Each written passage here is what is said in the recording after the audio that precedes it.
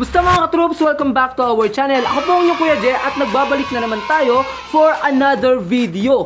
Naboboring ka na ba sa iyong YouTube channel? Naiisip mo ba na sayang lang yung mga effort mo sa paggawa ng mga gandang videos tapos ang dami nanonood, tapos wala ka naman talagang kinikita? Gusto mo bang i-convert ang iyong mga video into money?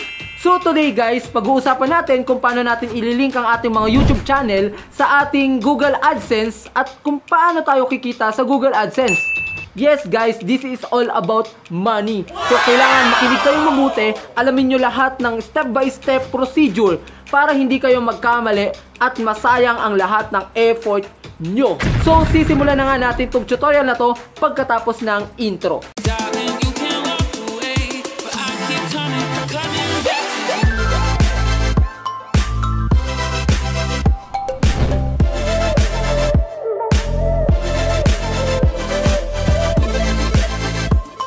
Simulan na natin tong tutorial na to.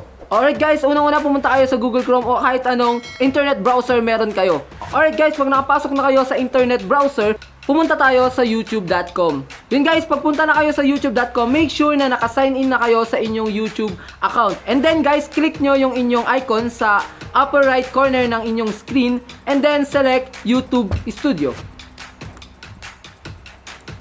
Okay guys, once you're there na sa inyong YouTube studio, pumunta ka naman kayo sa inyong ah, left side ng inyong screen at doon may kita nyo yung inyong monetization. And then, i-click nyo lang yun guys.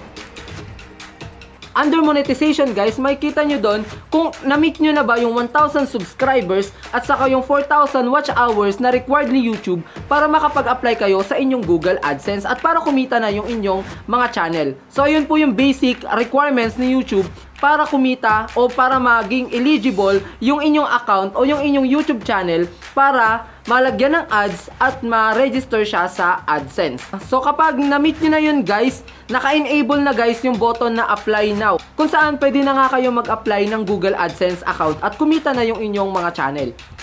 Pero kapag hindi nyo pa nami-meet yung requirements ni YouTube na 1,000 subscribers at 4,000 watch hours, ganito yung screen na makikita nyo. Alright guys, pindutin nyo lang guys yung button sa ibaba para ma-notify kayo ni YouTube kapag na-meet nyo na yung requirements na 1,000 subscribers at 4,000 watch hours. Okay guys, balik tayo. Halimbawa na-meet nyo na yung ah, requirements ni YouTube para mag-monetize. Ah, click nyo lang guys yung apply now at mapupunta kayo sa screen na to. Alright guys, sa screen na to, kailangan makomplete nyo yung tatlong step. Para sa step 1 guys, review partner program terms. Click nyo lang guys yung start. Ang gagawin mo lang dyan guys, i-accept mo lang yan guys. Siyempre hindi naman natin binabasa talaga yung mga terms and conditions. Accept nyo lang yan guys. And then, accept terms. Alright? So once you finish that guys, makikita nyo sa step 1 ay nagdone na siya. Alright? So pumunta na tayo sa step 2 guys. Sa step 2 naman guys, start lang din natin siya. O yung sign up for Google AdSense. Ito na guys yung pinaka-importanting part dito. Okay. Sa step 2, papapiliin ka kung meron ka na daw ah, existing na Google AdSense o wala pa. Kasi kapag may existing Google AdSense ka na guys, pwede mo din doon i-link yung inyong YouTube channel. Para hindi na kayo mahirapang maghintay pa ng PIN, mag-verify ng address mo kasi matagal pang paghihintay bago ka talaga makasweldo sa AdSense. O, to make it easier guys, kung meron na kayong existing ah, Google AdSense account, pwede nyo na rin yun gamitin. Pero dahil nga ang tutorial na to ay para sa mga baguhan at para sa mga wala pang Google AdSense account, ay kung piliin natin guys yung I don't have an existing account. Uh, once you press continue guys, you will be directed to this windows. Ayan guys, so magsasign in na kayo sa inyong Google account.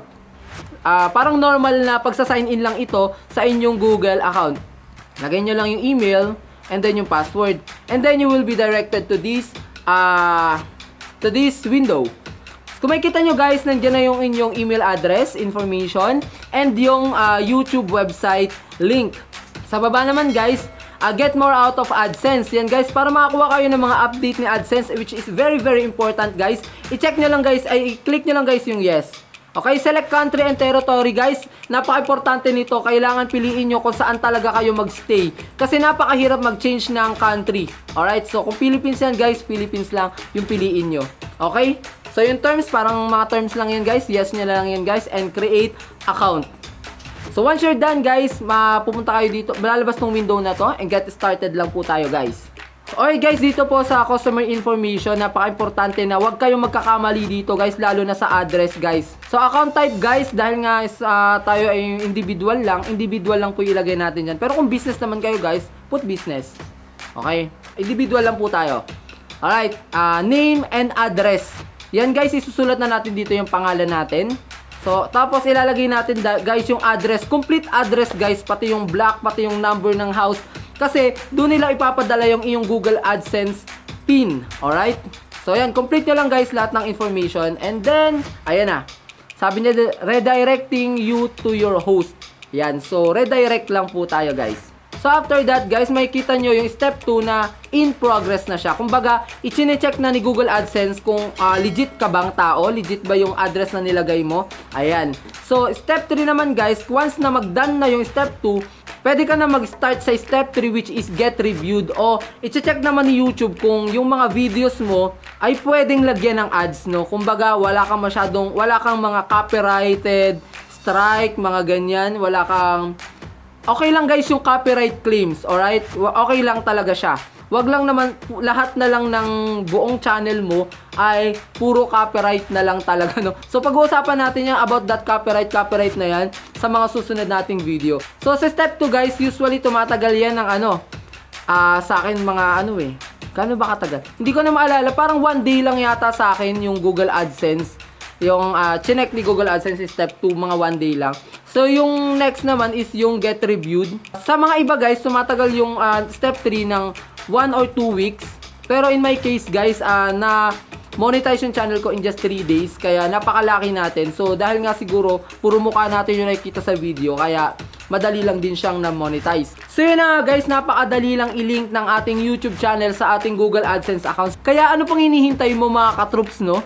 I-link nyo na yan guys, nang kumita naman tayo sa ating mga videos, kumita naman tayo sa ating mga pinaghihirapang mga content. Di ba napakahirap kasing gumawa ng content tapos hindi siya mababayaran. So parang, yun, di ba? Medyo ah, hindi din maganda yun sa part ng mga content creator. Pero, dahil nga ngayon alam niyo na kung paano mag-create ng Google AdSense account at i-link ito sa inyong YouTube channel, magagawa nyo nang mag-monetize sa inyong mga videos. So yun na nga guys, maraming salamat sa panonood. At kung hindi pa kayo nakaka-subscribe sa ating channel guys, please subscribe and click na notification bell para lagi kayong updated sa mga bagong upload na videos. At kung gusto nyo namang maging super duper duper katroops guys, please join our membership program right there sa tabi ng subscribe button guys.